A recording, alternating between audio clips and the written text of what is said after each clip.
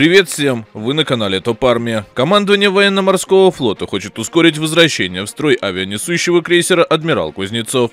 Почему этот корабль так необходим российскому военно-морскому флоту? Какие задачи и потенциально может решать размещаемое на нем авиакрыло? Вот уже несколько лет флагман военно-морского флота России, авианесущий крейсер «Адмирал Кузнецов» находится в ремонте, и нельзя сделать никакого уверенного прогноза по поводу того, когда этот корабль сможет вернуться на боевую службу. Тем не менее, как сообщалось недавно, командование военно-морским флотом России хочет как можно скорее вернуть авианосец в строй. Главным вопросом в таком случае будет следующий. В каком состоянии будет и сам корабль, и его главное оружие – авиакрыло то есть сотый и 279 авиаполки, которые должны базироваться на Кузнецове. Ответ не так очевиден. В таких случаях война обычно все расставляет по своим местам. И для Кузнецова ярким примером этому стал поход российского авианосца к берегам южной страны в 2016 году. Итоги южного похода, к сожалению, крайне неутешительны, и вспомнить о них более чем уместно. У берегов южной страны наши морские летчики выполнили 420 боевых вылетов. Об этом говорит статистика, обнародованная Министерством обороны, но Минобороны не поясняла, сколько из этих вылетов было выполнено с палубы, а сколько с корабля. А это очень важный параметр, позволяющий понять, могут ли наши летчики работать вдали от берега. Помогли американцы, заявившие о 154 боевых вылетах с палубы. Конечно, источник тот еще, но в таких мелочах они стараются не врать. Известно, что первый боевой вылет наши самолеты с корабля сделали 15 ноября 2016 года, а крайний 5 декабря. В дальнейшем все боевые вылеты совершались с авиабазы Хеймим. Таким образом, среднесуточное количество вылетов с корабля составляло 7,7 боевых вылетов в сутки. Много это или мало? Это вдвое меньше, чем делали британцы на Флоклендах. С каждого из своих убогих, по-другому не скажешь, легких авианосцев на убогих же самолетах. ПС-9К выработал топливо в воздухе, дожидаясь ремонта аэрофинишера. Второй Су-33 упал в воду, оборвав трос при посадке. Почему все так получилось? По массе причин. Это и то, что среди старших офицеров флота нет специалистов по боевому применению авиации. Морская авиация для военно-морского флота – отдельный вагон, с другими воинскими званиями, командными структурами и карьерными перспективами. Для сравнения, у американцев летчик-палубник – это по сути летающий моряк, неотделимый от ВМС, с морским званием таким же, как уплав состава, и перспективами дорасти до адмиральского звания. Авианосцами у них командуют только бывшие летчики палубной авиации, что создает полное взаимопонимание между летным и плавсоставом. Можно вспомнить и то, что изначально и корабль, и самолеты, и летчики Кузнецова не должны были выполнять ударные задачи. Они не для этого предназначены по самой концепции, ради которой создавался авианосец. И самолеты Су-33 и корабль пришлось переоборудовать, летчиков пришлось переучивать, но сделать это полностью не удалось. Список можно продолжать бесконечно, но важен конечный результат, и он весьма печален. При всех технических возможностях и корабля, и самолетов на нем, Минобороны не раскрывает, какие орг-выводы и действия предпринимаются для решения подобных проблем, как утверждает ряд источников, по результатам похода были жесткие орг-выводы. Однако в дальнейшем ожидания того, что ситуация будет выправляться, оказались несколько преждевременными. Так, уже после того, как корабль встал на ремонт, прошла информация о ненадлежащем хранении корабельных самолетов на прибрежном аэродроме в Североморск-3, сопровождающаяся фотографиями превратившихся в сугробы мигов.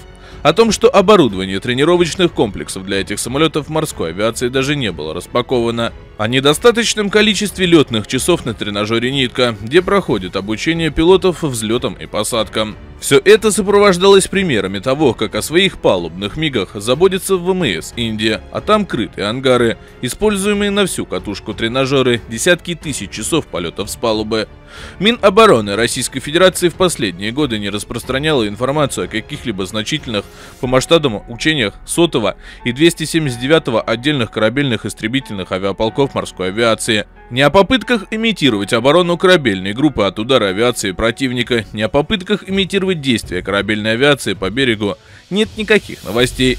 МиГ-29К может нести противокорабельные ракеты, но также ни разу не было никаких новостей о том, что эти самолеты хоть раз атаковали надводные учебные цели.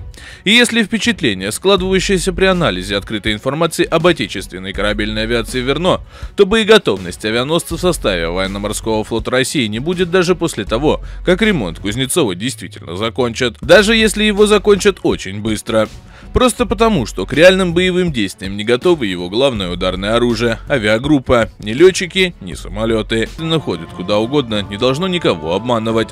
В случае даже ограниченного конфликта, угроза с воздуха со стороны любого противника будет ограничивать их действия.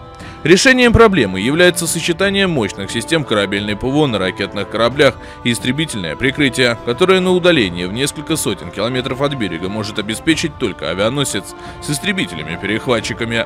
Никакие истребители с берега просто не успеют в нужном количестве. Кузнецов неудачный авианосец, но на малый боевой радиус он способен отправить в один подъем 12-18 машин за 20-25 минут и обеспечить непрерывные патрули в воздухе из двух или четырех самолетов, тоже причем с запасом топлива для боя.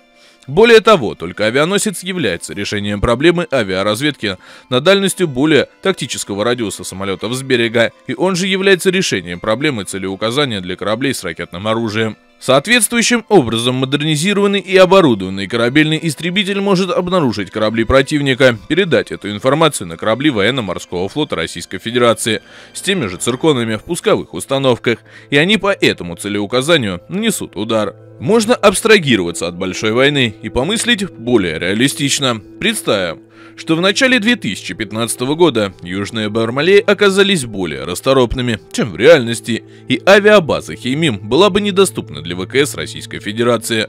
Как бы тогда Россия проводила бы свою операцию в этой стране? Ответом мог бы быть как раз Кузнецов. Если бы и корабль был исправен, и личный состав был бы обучен и экипирован должным образом, каким бы наш авианосец не был, а такое же количество боевых вылетов, которые на первых порах выполнялись с авиабазы Химим, он бы обеспечил.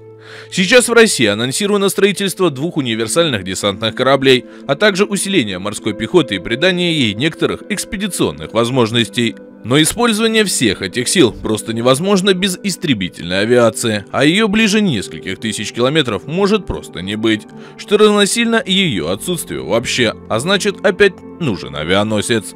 Надо признать, что Кузнецов потенциально один из самых полезных для нашей страны кораблей, так что желание адмиралов понятно, им есть куда применить этот корабль. Но одного желания пока что мало, нужно еще учиться воевать должным образом, а с этим скажем аккуратно, полной ясности нет. Авиация, которая должна с него действовать, по всей видимости, не готова к реальным боевым действиям, как и личный состав на палубе. И такая ситуация в корабельной палубной авиации еще и обесценивает очень дорогой корабль. Приведем простой пример. Невозможно подготовить летчика, который бы был бы одинаково способен выполнять и ударные задачи, и вести борьбу с самолетами противника. МиГ-29К позволяет выполнять и первое, и второе. Люди не позволяют. Соответственно, встает вопрос специализации. Одни авиачасти корабельной авиации должны стать штурмовыми или истребительно-бомбардировочными, другие остаться истребительными. Как должно происходить это разделение по полкам? Один истребитель, второй штурмовой, или внутри полков между эскадрильями, совмещать не получится, и южная страна это тоже показала. А базирование сотого и 279 полков на аэродроме Североморск-3 оправдано это или нет? Это потенциальная прифортовая зона. Начнись война, и мы можем остаться без корабельной авиации в первый же ее час, а значит и без авианосца со всеми вытекающими последствиями. Инфраструктуры для тренировок экипажей там нет, она в Крыму и Ейске. Климат ужасен и мало подходит для корабельных самолетов. Может быть, стоит убрать авиакрыло Кузнецова для постоянного базирования в более безопасный потому что под вопросом эффективность его главного ударного инструмента двух авиационных полков и прежде всего не техники, а людей летного состава.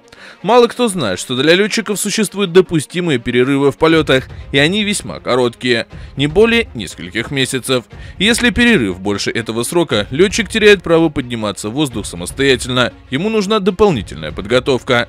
Кузнецов находится в ремонте годами, полеты с него не осуществляются. Один тренажер «Нитка» на наземный имитатор палубного авианосца в Крыму находится на капитальном ремонте, другой в Ейске еще не достроен. Иначе говоря, вот уже очень долгое время летчики обеих палубных полков с палубы даже наземной не летают. Им надо заново учиться, заново проходить курс боевой подготовки, в том числе получать допуски к применению оружия. Более того, тех, кто вообще имеет опыт полетов с палубы, в обоих полках осталось буквально несколько человек. По сути, в данный момент авиакрыло Кузнецова фактически отсутствует, его надо воссоздать с нуля. И в лучшем идеальном случае это еще годы, и годы интенсивной боевой подготовки. И будет ли к концу этого срока адмирал Кузнецов еще в составе военно-морского флота? Вот это настоящий вопрос. Как утверждают некоторые источники, близкие к руководству военно-морского флота России, скоро генерал-майор Игорь Кожин покинет пост командующего морской авиации по услуге лет, а на его место придет другой человек. Будем надеяться, что после этого в морской авиации военно-морского флота Российской Федерации начнутся необходимые изменения, а вместе с ними придет в нужную форму и единственный российский авианосец, в том числе его оба его авиаполка. Будут приниматься меры по оздоровлению морской авиации, будет толк от Кузнецова и как от боевого средства, и как от учебной платформы. С учетом нарастающей в мире напряженности, этот корабль и самолеты очень скоро России понадобятся. А на этом все. Вы были на канале Топ Армия. Делитесь своим мнением в комментариях под видео. Ну а я с вами прощаюсь. Всем пока.